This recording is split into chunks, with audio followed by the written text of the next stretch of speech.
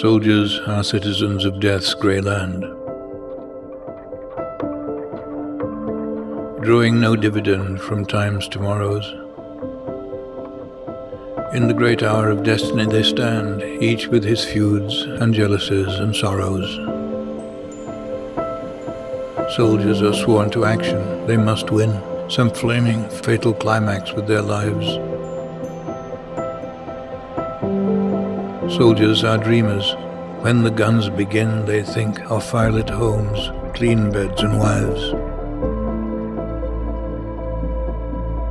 I see them in foul dugouts, gnawed by rats, and in the ruined trenches, lashed with rain.